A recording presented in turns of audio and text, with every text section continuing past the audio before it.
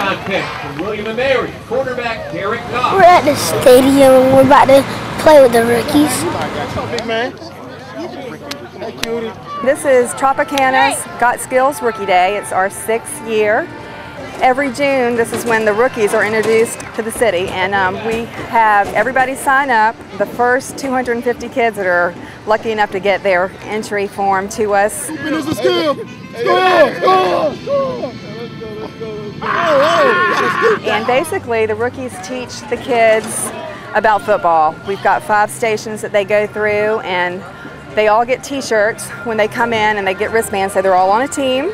And while they're in line waiting to do the drills, the rookies will sign and autograph their T-shirts. And it's just, just a way to get the kids excited about football and the new rookie class that will be joining the team. Jaguars is my favorite team. they do stuff cool and do and make touchdowns.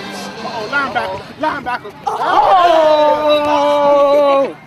It's fun. You know, we have all the kids out here and they're working hard. We're sending them through these drills and they're just having fun with it. You know, they're happy to, to be out here with us and it feels good to be, you know, in the position that we're in and be able to, you know, get a message across to these little kids, whether it's just stay in school and work hard. And if we can touch just a few of them, it's always an awesome thing.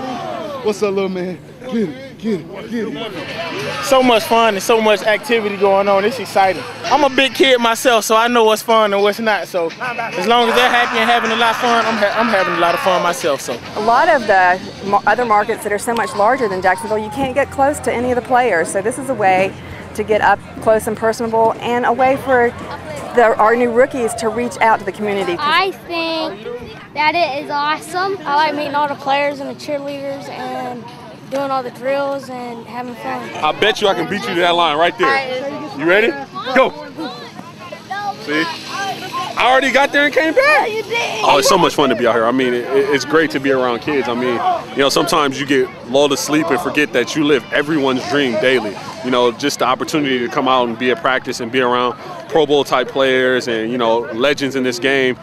And, you know, you lose that sometimes until you're around kids and you see that, you know, that we live their dreams every day. And I mean, it's just, it's just a blessing to be out here right now.